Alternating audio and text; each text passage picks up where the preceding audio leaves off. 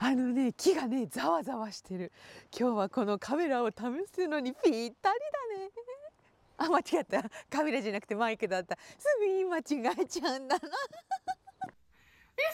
どうもけいかです。今日も始まるよ。